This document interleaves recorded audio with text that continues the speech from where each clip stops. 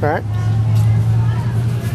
Well, hello. Okay. Well, I'm Dan Hermann, and this is my 1975 Ford F-150. Purchased brand new in 75 by my parents, and then I purchased it from them three years later in 78. So, been in the family for 45 years, and and only has what 44,000 miles on it originally right now. So, hasn't seen a lot of road time, but um, you know we've been taking it to some shows and getting a few trophies and doing real well with it.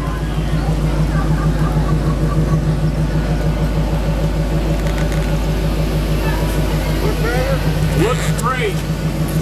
Sounds great, yeah, sounds wonderful. Yeah, go ahead, light them up out down the street here.